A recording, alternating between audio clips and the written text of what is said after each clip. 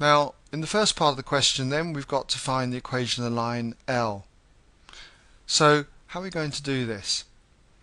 Well, when we've got an equation of a line, what we need to think about is what the form of the line is. And so often you get people thinking it's y equals mx plus c, which it is, but there's another form which I prefer to use, which is y minus y1 equals m bracket x minus x1.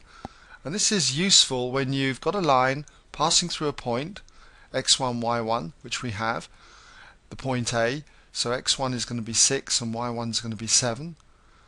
And we've got the gradient.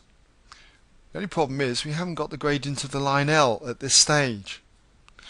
But we can get it because we should know that the product of these two gradients, L and the line going through AB, the green line here, the product of these gradients should equal minus 1. So if the gradients, let's say the gradient of AB is MAB, and the gradient of the line L which we want is M, we know that if we multiply those two gradients together, you should always get negative 1 when they're perpendicular. So we can get M as being minus 1 over the gradient of the line AB. Alright, so that's a bit of background to uh, what we should be doing. So that's basically what I'm thinking about in doing this question. Okay, well, let's make a start on it. So first of all, I've got to get the gradient of the green line AB. So let's just say gradient of AB. Alright, to give an intro there. Gradient of AB, difference in the y coordinates divided by the difference in the x coordinates.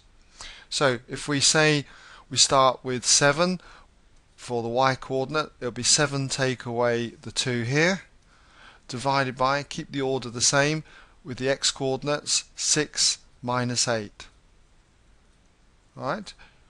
If we work this out, what we get is 7 take 2 is 5, 6 take away 8 is minus 2. So we've got minus 5 over 2. So that's the gradient of AB.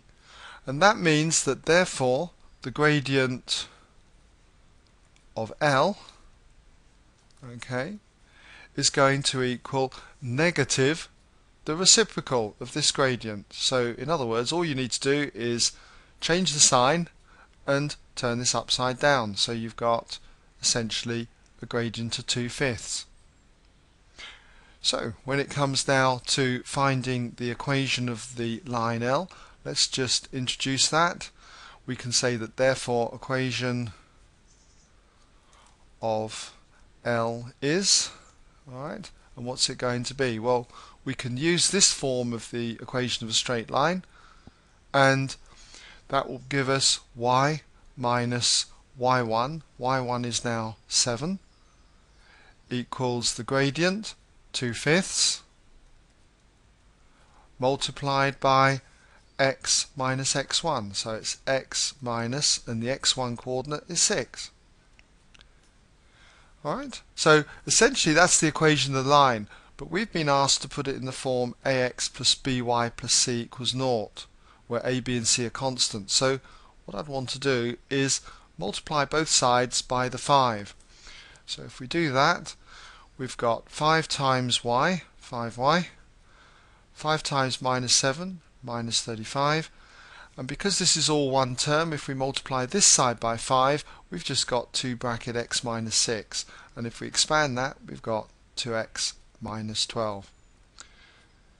Alright, so the x term here is positive, so I'm going to leave that on that side, and so we've got 2x that means I need to subtract 5y from both sides, so we've got minus 5y, and add 35 to both sides. So we've got 35 minus 12, which is 23. So plus 23, and that equals 0. So there's the equation of the line L in the form ax plus by plus c equals 0. And if we were asked to write down the values of a, b and c, a would have been 2, b would have been minus 5 and c would have been 23. Okay, well that brings us to the end of this part of the question and Hope you were able to follow that.